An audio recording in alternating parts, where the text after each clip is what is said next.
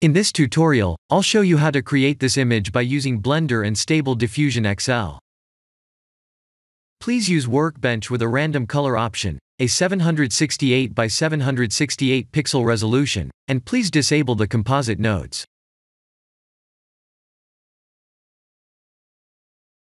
Let's use a metaball to create a basic character shape.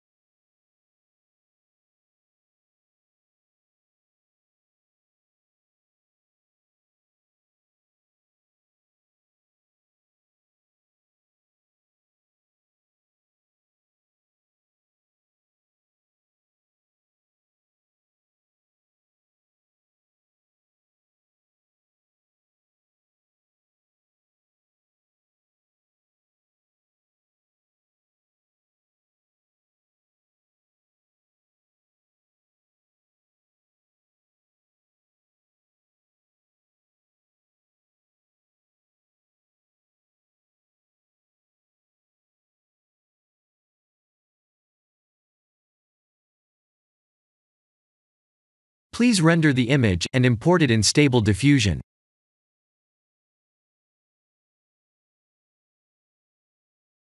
I'll share the full prompts in the description below.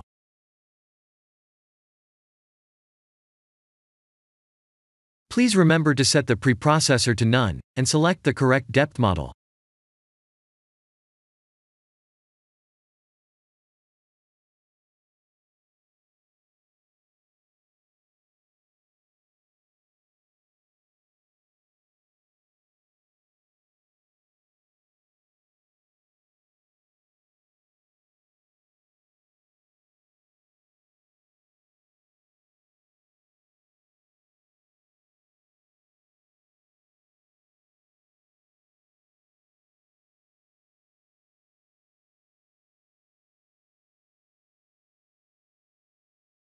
The skateboard is missing. Let's try again.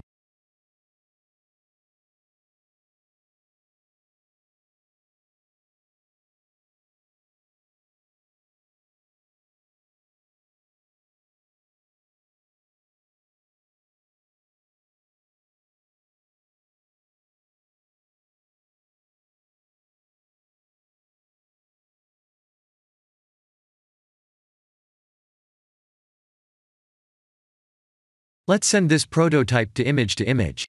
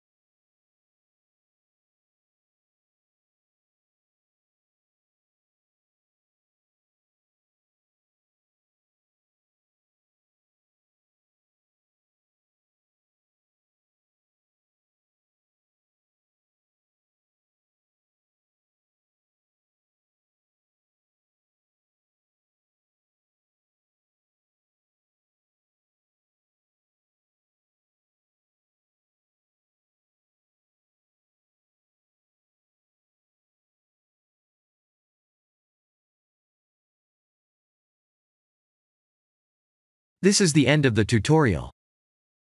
Thank you for watching.